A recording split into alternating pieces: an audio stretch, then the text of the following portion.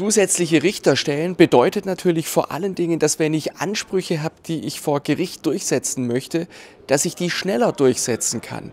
Und umgekehrt, wenn ich Opfer einer Straftat geworden bin, dass der Straftäter schneller eine starke Antwort des Rechtsstaats bekommt.